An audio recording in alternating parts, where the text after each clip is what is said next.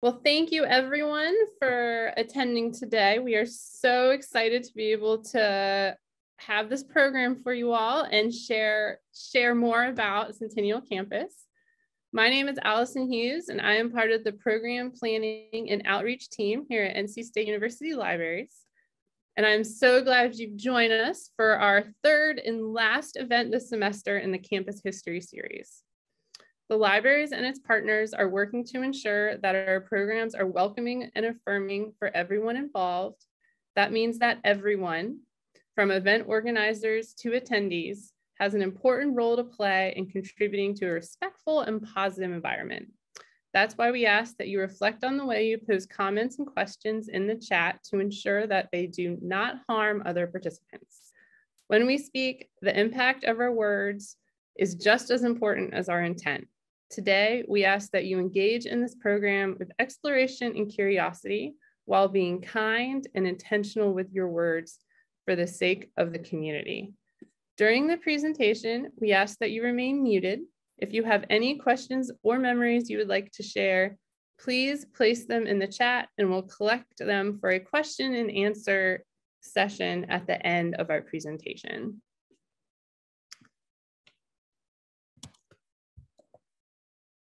This program um, is sponsored by both the Friends of the Library and the Alumni Association.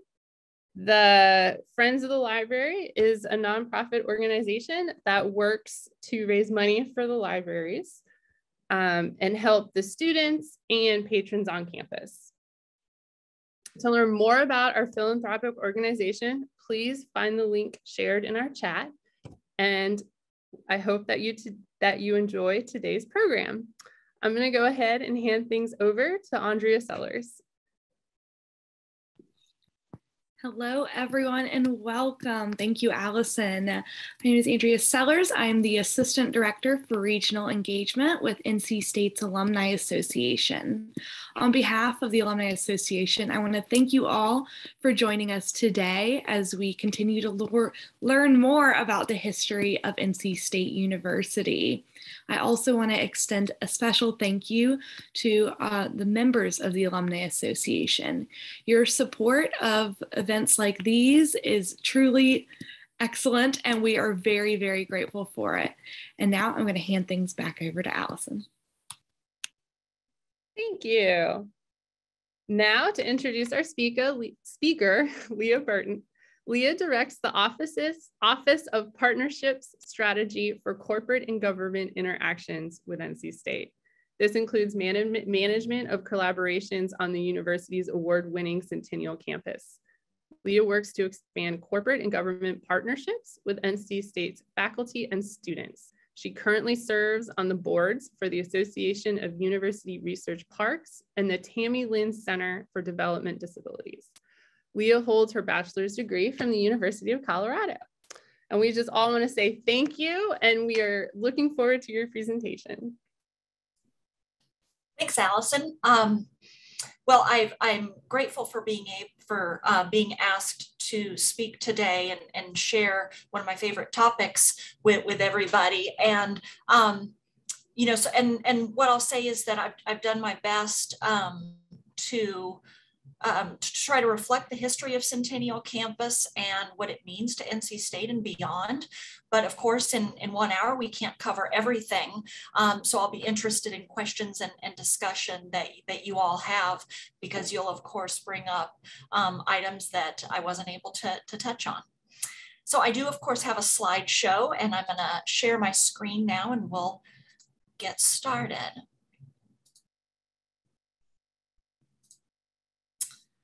All right. Well, um, in the beginning, this is what um, everything that we know as Centennial Campus used to look like. This is in the beginning of, of the 1980s, and all of this land would um, eventually be slated for Centennial campus, but um, it had it had been um, decades before. It had been part of the Dorothea Dix Mental Hospital. This is not where patients lived or where they were treated in the hospital, but they did use this land um, as farmland. Um, where the patients farmed uh, as part of their therapy, but by the you know by the 80s, Dorothea Dix was not using this land at all. It actually was owned, if you will, or, um, you know, uh, had been transferred in, in terms of utilization over to the North Carolina Department of Agriculture.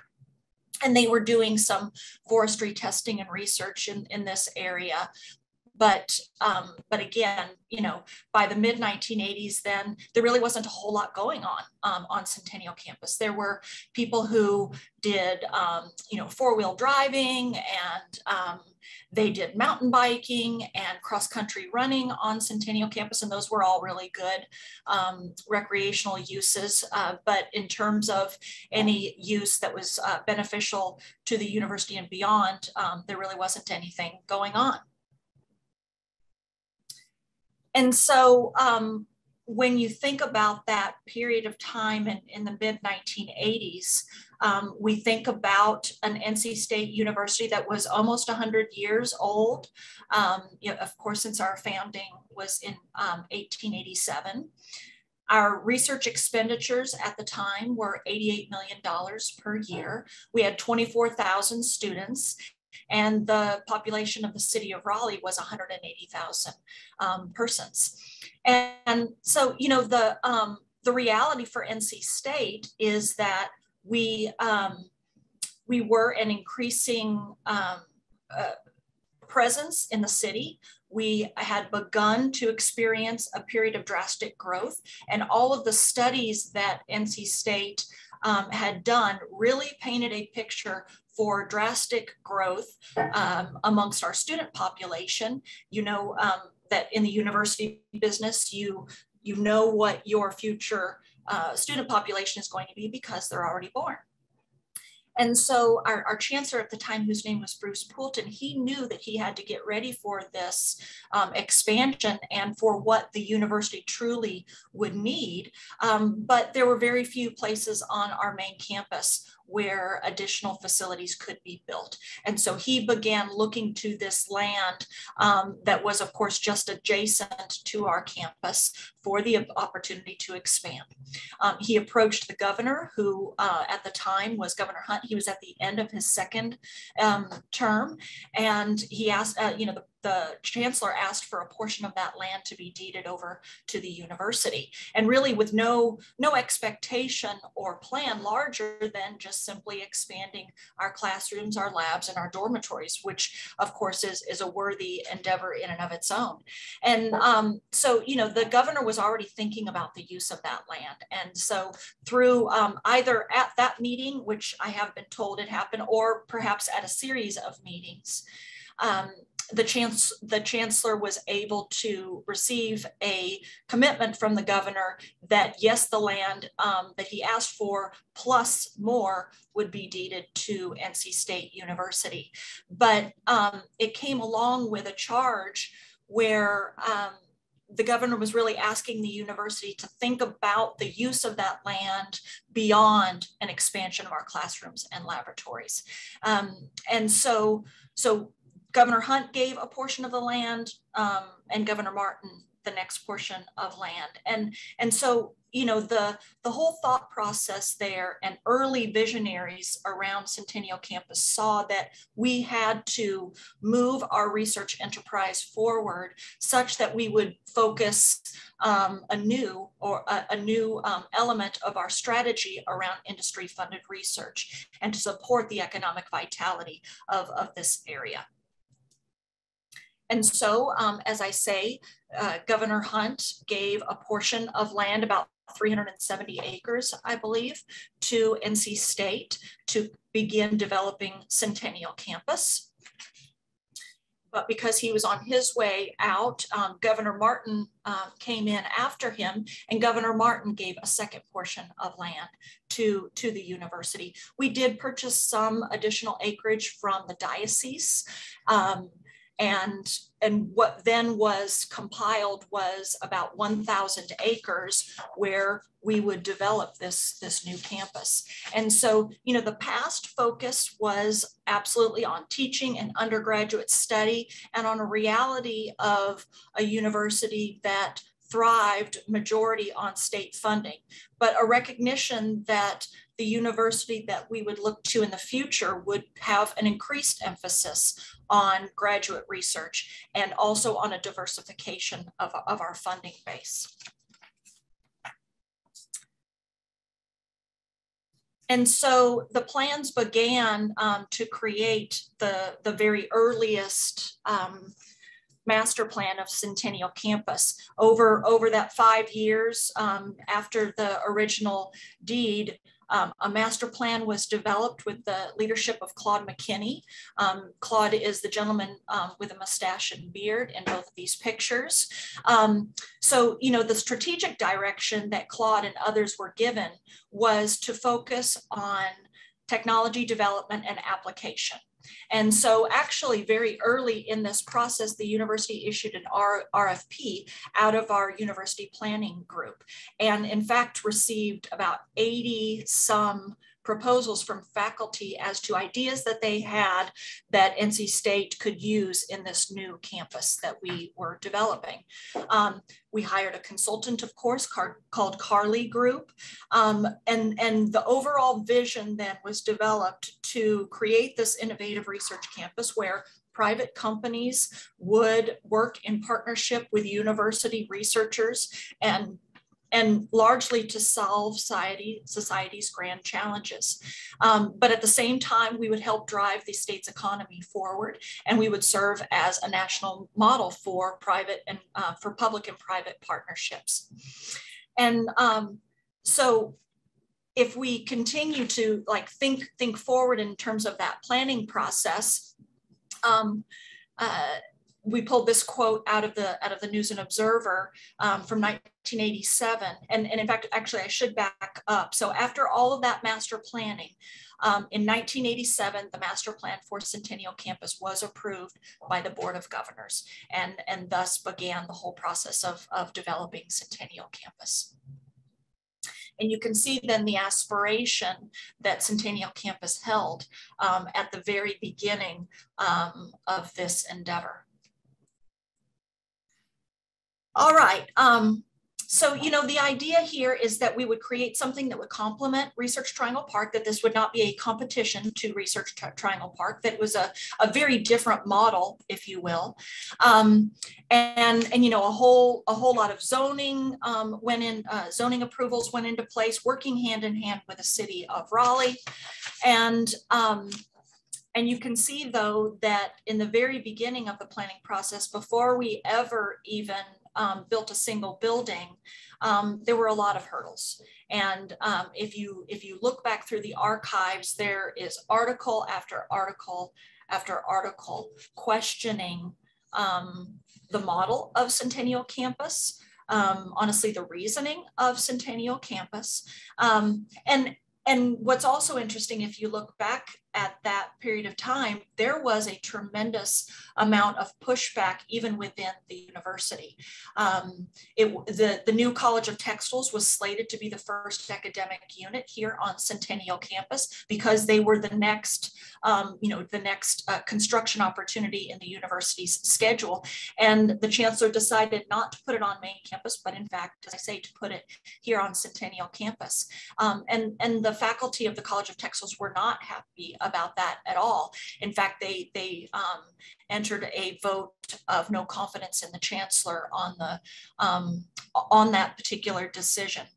And and we there was you know there was student criticism and and um, a real questioning of the investment that would take place on Centennial campus. And is there a possibility that that would that the development on Centennial campus would somehow take away from main campus or somehow replace um, all the importance of, of our main campus?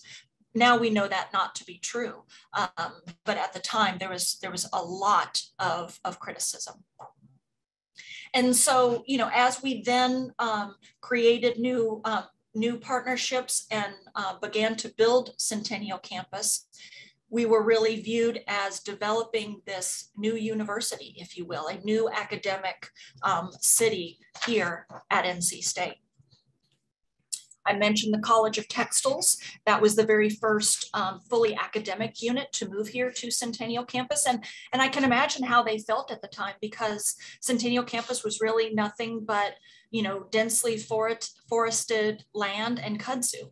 Um, and so to put the College of Textiles completely over here on this brand new um, Centennial campus, I can see how that felt as though they were moving somewhere that would be very far from where the action would happen. But we did then begin um, attracting uh, corporate interest, and our very first corporate partner on Centennial campus was ABB. Uh, ABB is still on our campus, and um, you know what's interesting is how how that company company has changed as the economy has changed and how our involvement with ABB and really our engagement with their technology development has changed over time. And so we built um, what is now known as the Poulton Innovation Center for ABB and they occupied that entire building. But over time, ABB actually moved to different buildings um, on Centennial campus, only then to, to move back into a portion of, of the building again. And, and and I think that that really illustrates the importance of flexibility in how we develop Centennial Campus, but also in how we engage with technology development and the companies that are, that are engaged in it. As we continued through the 90s, then we attracted our very first government partner, which is um, uh, which is the US Weather Service, and they are still on Centennial campus as well in Research Building 3. And um, the importance of that research relationship um, certainly can't be missed. Um, and, and then, of course, we kept on developing um, some of the research buildings, research one, two, three, and four.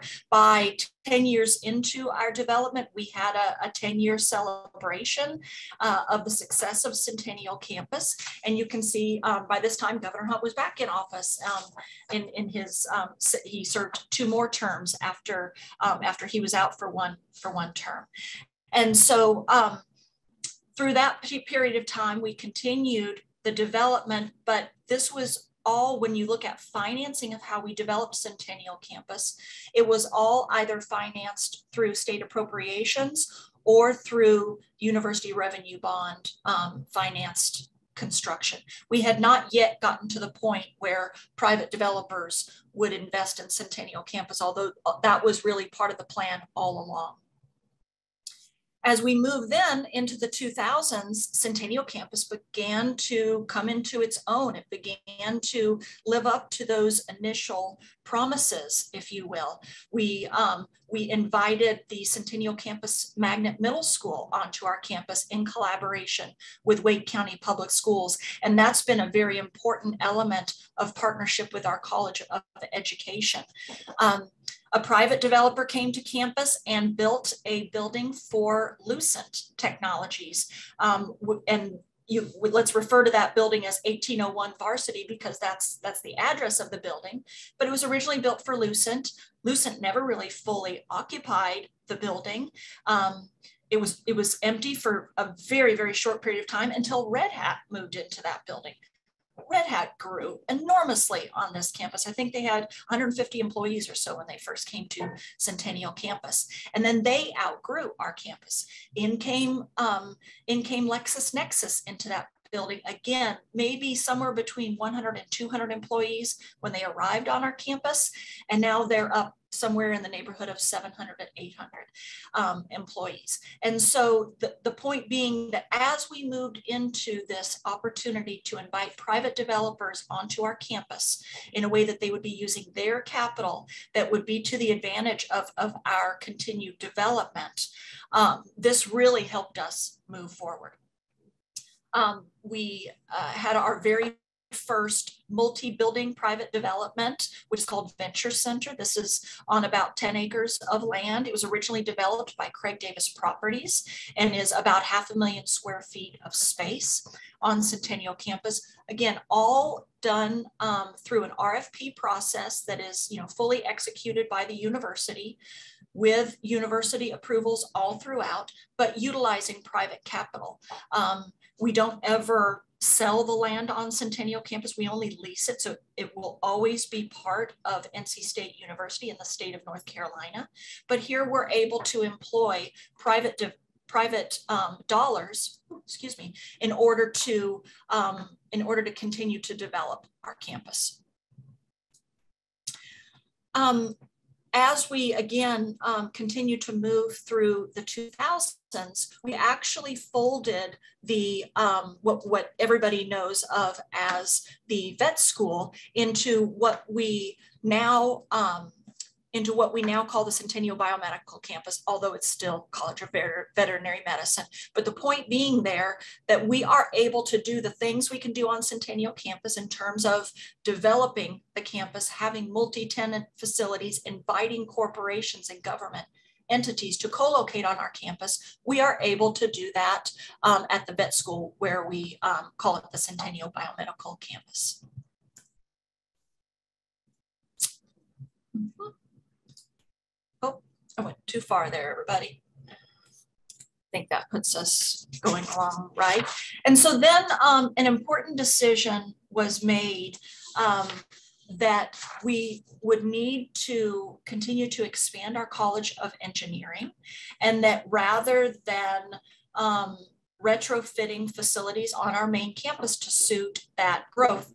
We would look at a process of moving the College of Engineering to Centennial campus over time, such that those buildings that they occupy on main campus could be repurposed for other entities.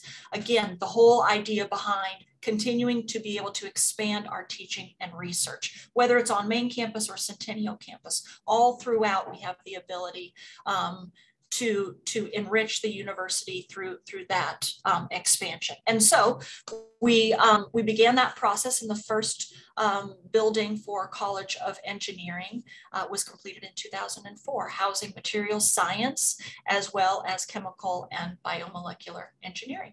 And you'll probably recognize some of these faces.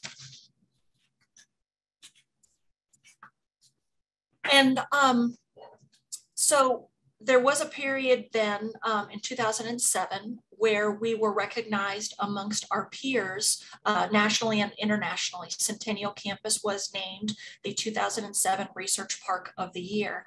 And, and what I'll say, um, especially from the perspective of, of someone who has seen all of this growth and, and has seen the continued acceptance of the Centennial Campus model, um, when when I and and my colleague Amy Lubis uh, started in 2000, Centennial Campus was very much um, an outlier when you look at university research campuses. And I say that because so many of them were founded on a,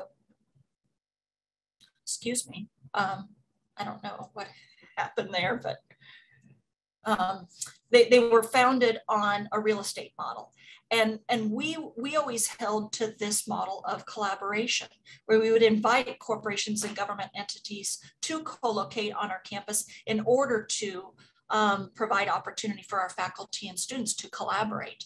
Um, but but that was that was absolutely not the prevailing wisdom when you looked at at other research parks around the world. And so I think what um, what is highlighted from this quote um, out of the award that we received is that this, this was really a tipping point for Centennial Campus, where there was greater acceptance for the model that that we um, had pioneered and in the way that we had pioneered it, such that then other research parks that were either already in existence or universities that were creating their own research parks began deploying this particular model. Um, and, and ever more, it has, it has meant just a complete expansion of, of that model throughout the country and, and throughout the world. All right, so then continuing on through um, through the 2000s, we we opened Lonnie Poole Golf Course, and um, that that's been an, a really important part of the offering on Centennial Campus. Um, it's nice to have a championship golf course here, but you know it's also um, important that there be a programmatic portion of that, and so um, you know this golf course wouldn't have been put in place if we didn't also have a premier turf grass management program at NC State, and if we didn't also have a professional golf course management program. And so again, back to that um, engagement and collaboration, um, the opportunity for us to, yes, I mean, have a beautiful and an enviable golf course on Centennial campus, but all um, in terms of what it can offer to our faculty and students as well. And um, I, I, should mention in, in terms of the development of, of the golf course, this, this project was actually meant to be a very different development originally. And, um, and this is actually one of the impacts that Centennial Campus had from the 9-11 tragedy. Um, right before 9-11, uh, the leadership of Centennial Campus was working on a hotel, conference center, and golf course development. In fact, there were members of, of our group who were um, on travel the uh, on 9-11 who were going to meet about that project. So it was meant to be um, together. Um, and we, we all know though after 9-11 what happened to the tourism industry. And so the hotel motel association in, in north carolina was was really hurting due to the lack of of, of travel. Um, and and they began criticizing this hotel conference and golf golf course project. Um, they were concerned that it would not succeed and that inevitably the university was going to have to somehow prop it up financially, which of course was not in the plan at all. But all of that to say, there was a tremendous amount of criticism. So we, we stopped that project for a while. And what we decided is that we would be able to raise funds actually through our advancement office to build this golf course, of course, for all of the important programmatic elements that I already mentioned. And then uh, inevitably we would be able to um, attract a hotel developer who would then bring on that other part of the project. But um, I, I, think it's important for us to, to note how, um, how that was originally um, intended and then how it actually happened. By 2013, we opened up Hunt Library and um, gosh, I could have never foreseen how important Hunt Library would be to um, to this really the, the, being the heartbeat of, of Centennial Campus, the importance of Hunt Library as um, you know as, a hub for uh, academic curiosity, but also um, for the way that Hunt Library put Centennial Campus on the map. Um, you can't create a building that is as beautiful and inspirational as Hunt Library and ever think that your campus is going to be the same as it was before. Um, and you know, it's. It, I should also mention that um, after opening, Hunt Library became one of the top tourist destinations within the city of Raleigh, and so um, there really is quite a lot of pride within our city and and throughout the state for what Hunt Library is and what it means to, to the people of North Carolina. And so um, those are things that, that are important to take as learnings as we go forward in, in the development on, of Centennial Campus. All right, so somehow there, um, yeah, okay. Somehow I think there's some slides that have been skipped a little bit. I'm sure that that's operator error entirely. Um, 2017, we opened the Stateview Hotel, which is a Marriott product. We're very proud of that development. Again, completely privately developed, but under the approval and um, an eye of, of NC State University if any of you have been to the State View, you can see that they um, that the hotel developer really took great pains to make sure that it had a reflection of what, what NC State is and what NC State can be. Um, and so we're, we're really proud of that. All right, so, um, and, and by the way, I haven't listed every single building that we developed, um, just in the interest of time. But um, continuing on through, then you're aware that last year we completed Fitts-Woolard Hall, which is important to that, um, to the completion of um, the of the of the excuse me of the engineering oval for um, for Centennial Campus. And so now that um, that is the uh, the final portion.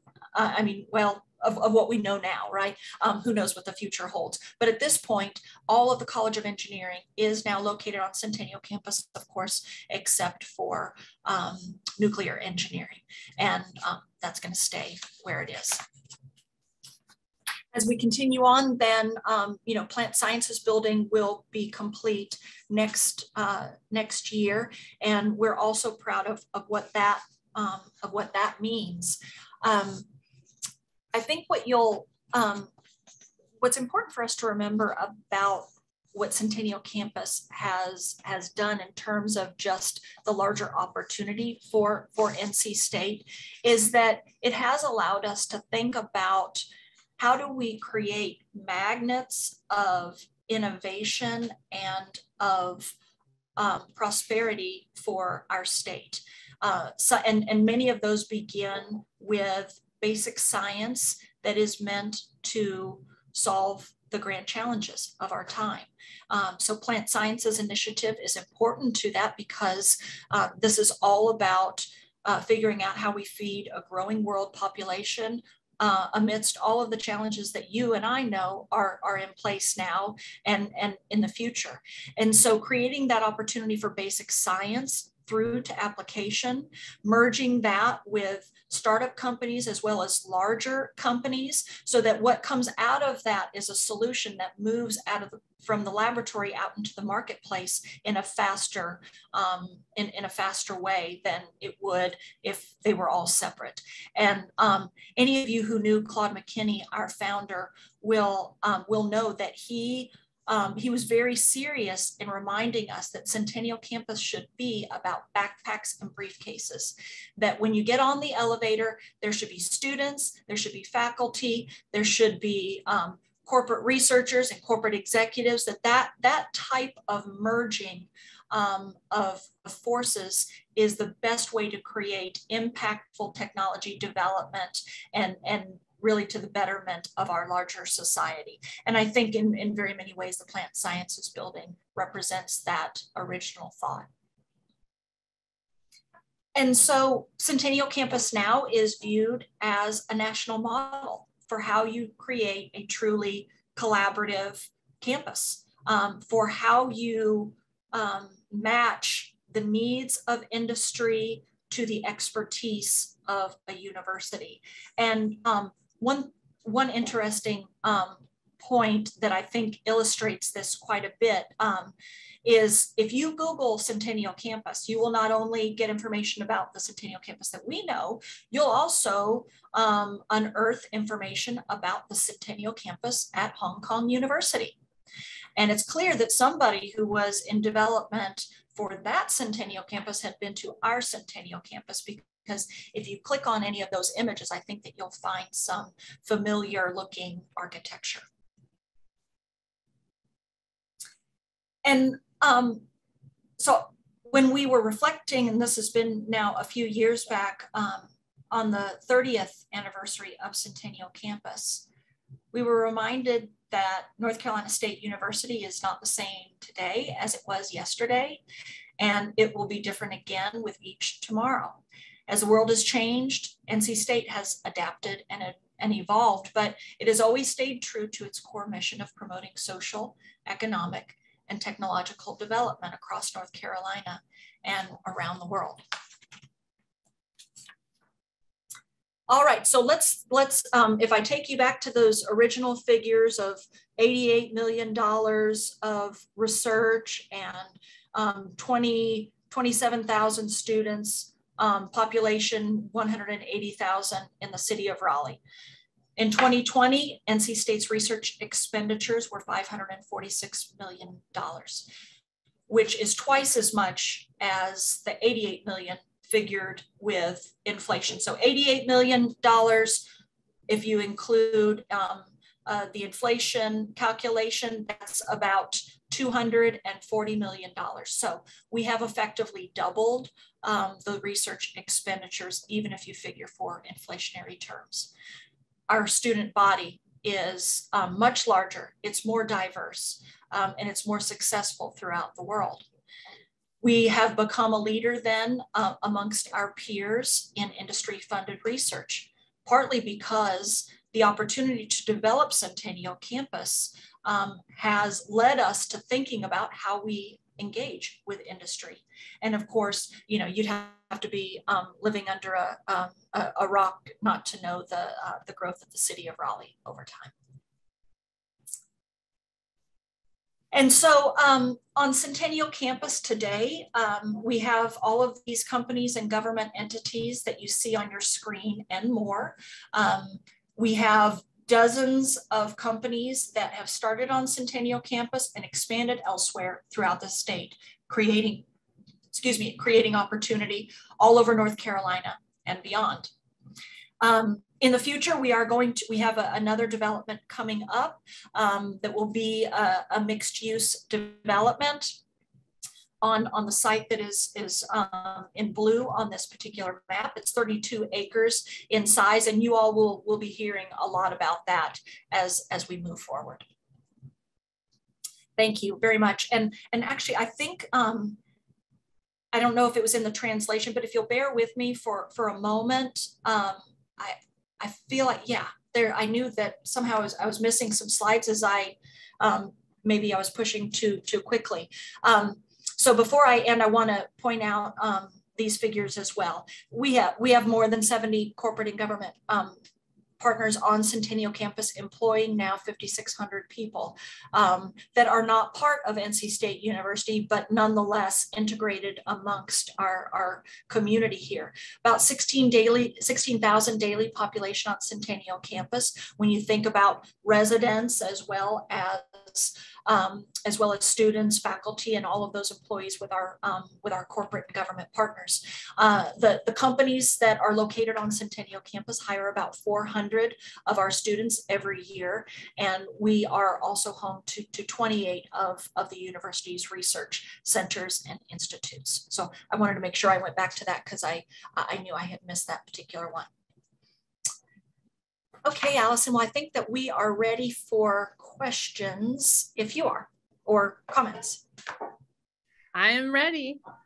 Um, all right, so the first first question or slash comment we had come through um, came from Tom Dow, and he he oh. he and he um, he put in the chat that the first building on Centennial campus was Research One, Correct. And the Precision Engineering Center in the late 80s after a grant to the engineers was presented by the Office of Naval Research. Thanks, um, Tom.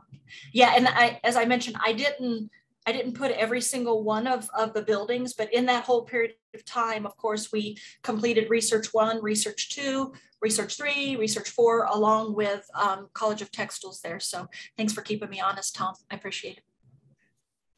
All right, next question is from John Gray. And um, he asked Are there future plans to give in person tours for old alums like me, maybe in 2022? And then also, thank you for a great presentation. Oh yeah, I, we're we're always happy to to give um, tours, and so um, if you just contact the partnership office at 515-7036, um, we would be happy to give you a tour. Great. Whenever you're ready. I think, especially after this presentation, I think people are ready to, to come visit you guys. Um, next is a comment from Mark Stately. Uh, he says that nuclear is not the only engineering program not on Centennial campus. I graduated from biological and agricultural engineering, and they are still in Weaver Labs at the corner of Western Boulevard and Dan Allen. Also true. Thanks, Mark. Um, all right. And we have one more comment from Jim Hackney. And he says that I was chairman at the NCSU Board of Trustees from 1985 to 87 when we completed the state property transfer, purchased the Catholic Diocese Oval property, hired Carly Capital, developed the master plan, and got it approved by the Consolidated University and the state. He said those were exciting times. Mm-hmm. So I should um, I should also mention a couple of things that are important to that time. Um, the reality is that uh, the way that our state laws read in 1985, for instance, um, would not have allowed us to do what we do on Centennial campus. Um, of course, you know, many people are aware that um, uh, uh, of the Umstead Act in North Carolina, which prohibits uh, public entities from uh, competing with, with private enterprise throughout the state. And, and it's not that um, that we were looking for that competition in particular, but we knew that if we are creating something like Centennial Campus, there would be an inevitability of um, you know, the university having real estate and private developers having real estate as well. And so Centennial Campus is exempt from the Umstead Act. And um, when we are when we are bringing private developers to the campus and they are signing a land lease, for instance, they are paying money to the university that is put in uh, a fund that fuels infrastructure around the campus. And so again, um, but before Centennial Campus would, was developed and some of the very early enabling legislation was created, we wouldn't have been able to, um, we wouldn't have been able to take in money from private developers at all. Um, and we wouldn't have been able to create real estate that allows us to lease to university and non-university tenants. And so we did receive um, the benefits of that very early enabling legislation. And then I should mention that by 2001, um, there uh, was enacted the Millennial Campuses Act throughout the state of North Carolina so that other public universities in North Carolina have the ability to create a centennial campus like development and they don't have to go back and get all those same legislative approvals. And so, you know, there, there are and have been efforts at UNC Charlotte, at ECU, at UNC Chapel Hill, um, and others, but, but really all on um, on that original um, work that was done by NC State. Thank you. All right. Um, I have a question from Stuart S. He says, great presentation. And especially for those of us alumni living abroad now, it's fantastic mm -hmm. to get the chance to see how the university is growing. I was wondering, given the uniqueness of the Centennial campus, even within the triangle, is there much work alongside UNC Chapel Hill and Duke on Centennial? Well, I think um, you know the majority of what you would look look at is is that our faculty um, work with those at UNC and Duke all, all the time. So, um, you know, they don't have to have their own Centennial campus or they don't necessarily have to have a presence here in order for us to collaborate with them. Uh, excuse me. And of course, um, you know, there's there is an increasingly large um, opportunity um, in the health sciences when you think about our College of Veterinary Medicine and some early research that can then um, naturally dovetail over to the medical schools at UNC or at Duke. So there is a natural um, opportunity there, and we, we see that alive in, um, in our faculty across the board. Okay. Um, Kevin Lai asks, as a member of the Student Body Senate during the early 1990s, I sat on a committee planning the route for a monorail connecting to the Centennial campus. Is there any additional history available about this part of the project? Absolutely. Um, so there, there are a couple of, of key parts of, um, of that that I should point out there was a real um, there, there was a recognition in our original master plan, master plan for a couple of things that I, I think I probably skimmed over too quickly. Number one, that if we are going to be creating this new university city, if you if we will, uh, something that might be a population of 30,000 and, and beyond each day, a bunch of them better be living here on, on Centennial campus. And so our one of our original commitments to the city of Raleigh is that at build out, we would be one third residential. Um, now, you know, the, those development pat patterns, um, you know, have, have waxed and waned over the years. And we do have three different types of, of residential, some that is for purchase, some that is for lease, and then some that is student residential. So that's always been an important, and you'll see the development of residential um, continue to increase uh, in the next years. But then that other element was that of public transport and how would we move our, um, our students and our faculty between the two campuses. Of course, everybody knows now that we do that through the Wolfline bus transportation, and that's fine, but, um, but the uh, earlier ideas were that we needed to be able to move people more quickly and that that monorail would be a way to do that. We did have some early um, relationships with companies like Bombardier, for instance, and that would have an, an engineering um, connection in terms of collaboration. But um, let's be honest, there's a reason that um, the monorails only exist at Disney World, right? Um, they're they're they're not um, particularly economical, if you will. And so we we have let that go. But um, you, you may be aware that right before the pandemic, we were testing new types of autonomous transport uh, around campus. So I think that you should um, keep your eyes open for what that looks like in the future because um, you know there'll only be increasing pressures um, for mass transit uh, between the campuses and beyond. Um, and, and we'll see, as I say, more of that in the future. But, but um, the monorail definitely got sidelined and we shouldn't expect that one to come back.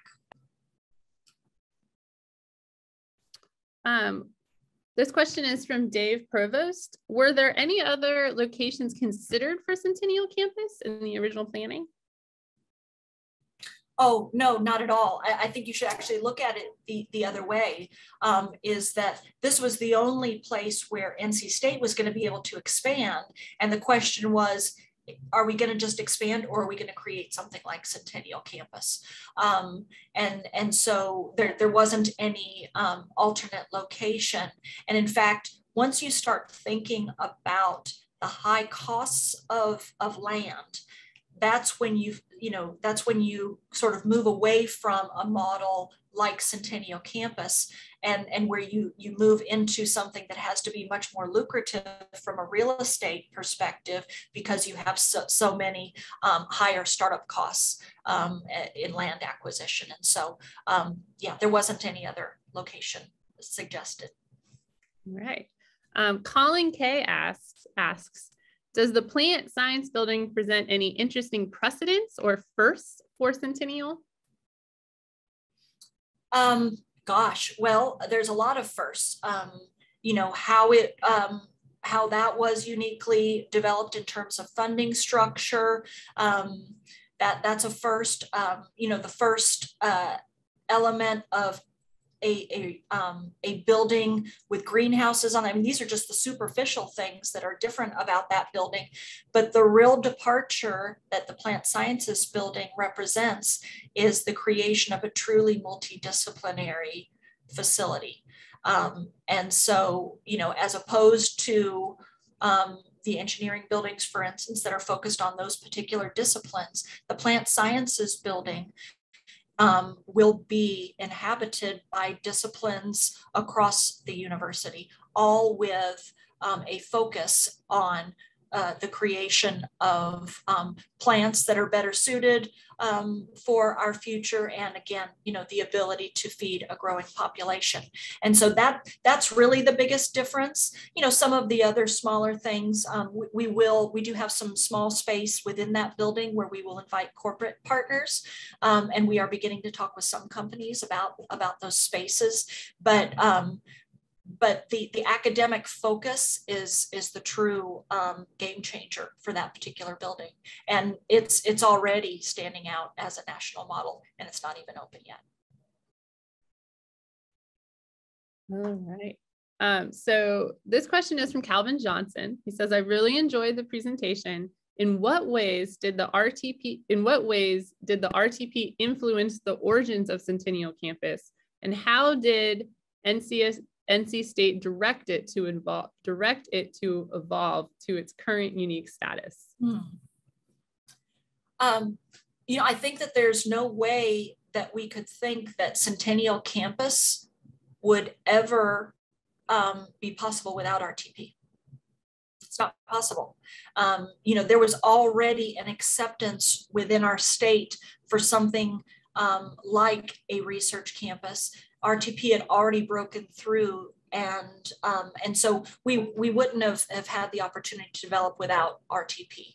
Um, having said that, then you know they are they are a very different model. There have been only a few times in, in our history where we've competed against Research Triangle Park for you know a company location.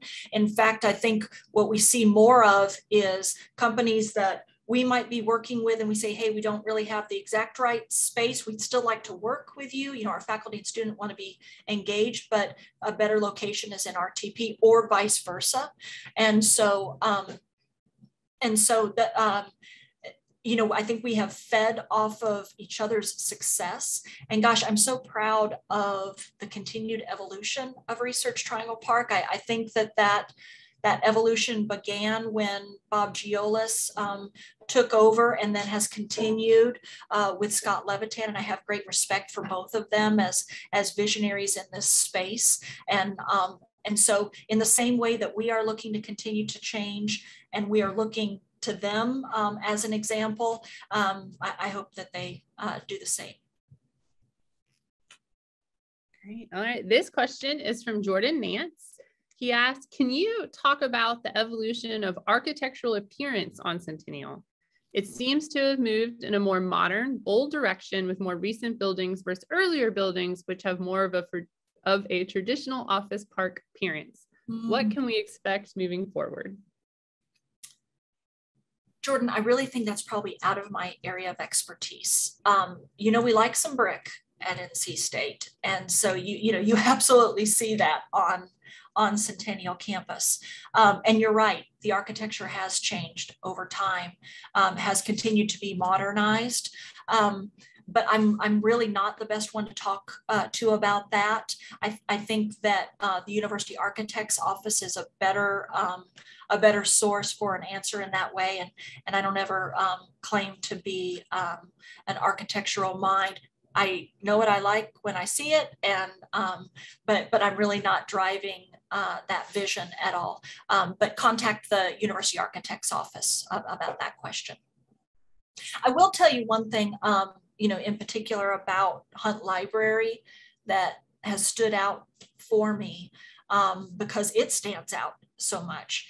Um, before that building was complete, I guess this was at the end of 2012, right before uh, 2000 eight or I can't remember, um, but but right before the the library opened, and I had a chance to take a tour of it, and I'm walking around that place, and I'm I mean, I was just amazed at at um, the bold vision that was created and executed there. But the first thing that came to my mind was, man, I hope somebody in PR is ready for this because we're going to get it. We are going to get it. And um, and I just thought, you know, we weren't quite out of the recession yet. And it just looks so beautiful and so expensive. And I just thought to myself, you know, the News and Observer is going to be critical of this, or the legislature is going to be critical of this. And what I found then over that next year of, of Hunt Library being open was not anything what I expected. Um, I mean, it was just a, um, across the board adoption and love of that gorgeous facility. And so, you know, my takeaway from that whole um, that whole process was when even when you're a public university, if you think big enough and if you create something that is as inspirational um, as Hunt Library is, everybody wants to be part of it, and that's that's an excellent thing. Um, and and so I'm uh, I'm, I'm going completely also out of my um, purview when it comes to um, what Hunt Library means to the larger library network of NC State, because that's not my expertise. But um, but I think that probably does mean something for the importance of the architecture of, of Hunt Library and, and how it was executed. And I will just tell you that there are some companies that we have um, that we have recruited on Centennial campus where Hunt Library has been the game changer for them choosing Centennial campus. And, um, and so uh, I'm, I'm forever grateful for that, um, particular building um, and for the adventurous architecture that it embodies. All right. Well, I think that is the end of our presentation today. Thank you so much, Leah, for your great presentation. I know I learned so much about Centennial and its tremendous impact on this university. Um, we are going to be dropping a chat or a survey in the chat. Please feel free to take it and give us your feedback on this presentation and the campus history series as a whole. And we will be reaching out um, next semester for a new slate of programming. Thank you again, everyone, for attending, and I hope you have a, a great rest of your day.